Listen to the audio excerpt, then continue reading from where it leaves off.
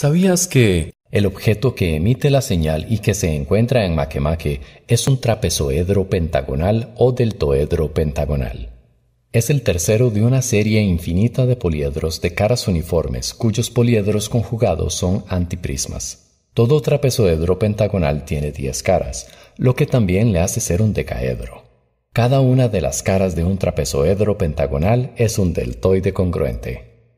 El guionista eligió esta figura geométrica para recordar el famoso Monolito de 2001 Odisea del Espacio, película épica de culto de origen británico-estadounidense del género de ciencia ficción y dirigida por Stanley Kubrick, estrenada el 3 de abril de 1968.